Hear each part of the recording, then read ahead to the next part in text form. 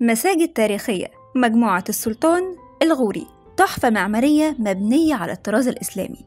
سمعت مرة عن مجموعة السلطان الغوري؟ دي تحفة معمارية فريدة من نوعها. مزيج من الفن الإسلامي اللي هيسحرك بكل تفاصيله. مجموعة السلطان الغوري اللي بناها السلطان الغوري في الفترة بين 909 هجريا و 910 هجريا في أواخر عصر المماليك. المكان ده موجود في شارع المعز بالقاهرة المجموعة دي مش مجرد مسجد للصلاة ده كمان مدرسة لتعليم علوم الفقه والحديث وخانقا للمتصوفين وسبيل لسقي المية وكتاب لتحفيظ القرآن ومقعد ومنزل سكني ومنارة فريدة مكسية ببلاطات زخرفية. الزخارف والنقوش في مجموعة السلطان الغوري تجسد الفن الإسلامي في العصر المملوكي. من الواجهات الخارجية المزخرفة بالحجر والرخام للأسقف الخشبية الملونة والمذهبة.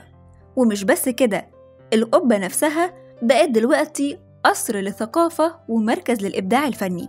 مسجد الغوري ليه تلات وجهات. أولها الواجهة الشرقية المطلة على شارع المعز. المدخل الرئيسي بتاعه مزخرف بالرخام الأبيض والأسود.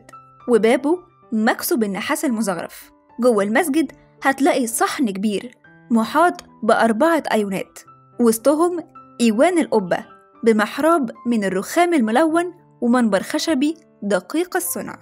مجموعة السلطان الغوري مش بس موقع أثري دي قصة حضارة وفن. ولو لسه ما زرتهاش يبقى لازم تحطها في خطتك اللي جاية وتعيش تجربة فريدة في قلب القاهرة التاريخية.